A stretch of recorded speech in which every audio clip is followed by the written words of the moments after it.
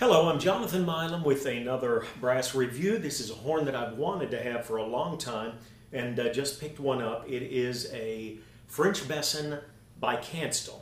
This is the Meha and it is a .470 horn. So uh, the bore size .470 makes it a large bore. supposed to be able to put out a tremendous amount of air I'm really not a big air guy, not a high note guy, so uh, perhaps it won't do me as much benefit as it would someone that were a little more capable in those areas. But uh, one thing I do want to mention here, you've got what they call a choke off of the, um, just going into the third slide, so it, it makes it a little more bearable, although really I don't notice any diff difference. Uh, uh, just an excellent horn to play. If I was doing a four hour gig, I might notice, but with the choke there, and then bringing it down to a more nominal size, you get a very free feeling through the uh, lead pipe of the horn, but still, um, I think a, a very uh, workable, playable instrument.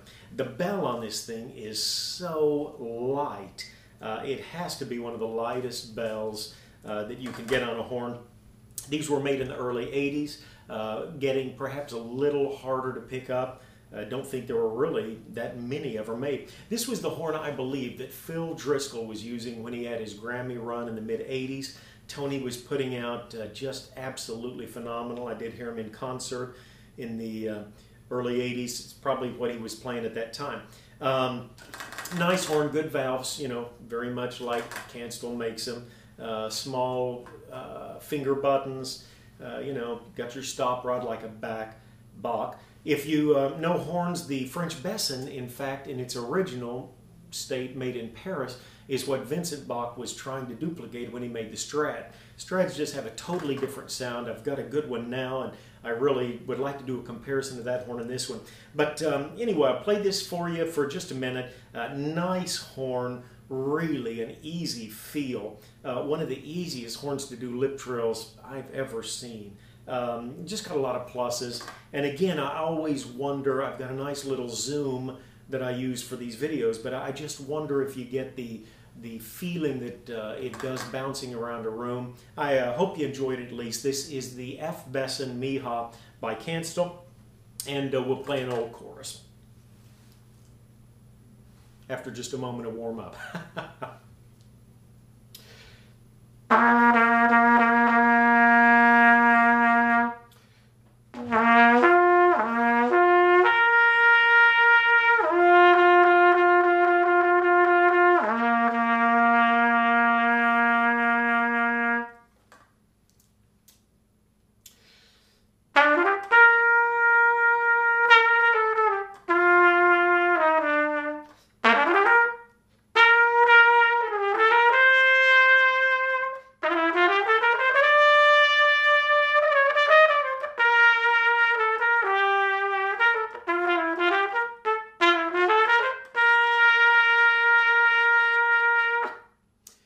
nice horn. I had an old Super that I did a uh, uh, brass review on, and I remember that horn when you brought it up, you just really felt like you're going to hit yourself in the face. The bell is so light, uh, and I noticed that on this this horn as well. Those are two of the horns that I really they do have that similarity. The Super seemed that one seemed to spread a little bit better, but uh, just a great feel on this. I'll uh, try a lip trill just you know, the F, not a high F, but uh, uh, just give you an idea, really easy to uh, work lip trills on this. I'm not quite sure why.